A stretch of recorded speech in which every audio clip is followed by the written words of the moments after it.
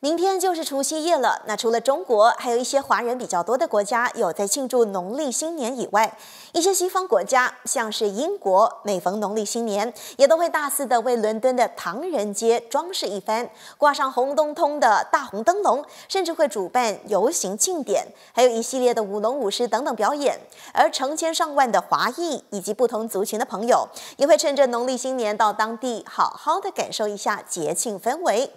但是今年呢，英国因为持续受到疫情的影响，一系列的大型活动继续是缩减规模，一切从简。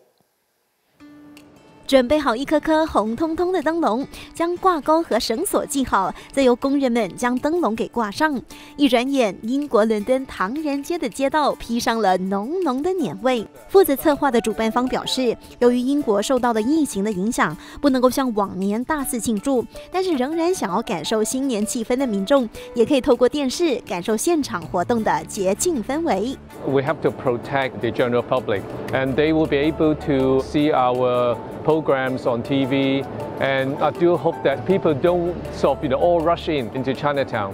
because um, they can easily come and celebrate in the future. 镜头转到西班牙巴塞罗那，当地的华团组织也在新年前举办了一场新春庆典，并且邀请市长一同前来欢庆。春到福来，五谷丰登。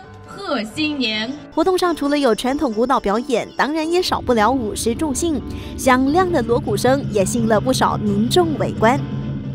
另一边厢，越南河内的一个早市，也在农历新年前的最后一刻，吸引了大批民众前来抢购年货。放眼望去，五彩缤纷的新年装饰映入眼帘，民众都在细心的挑选心仪的装饰，希望赶在年前好好的为屋子装饰一番。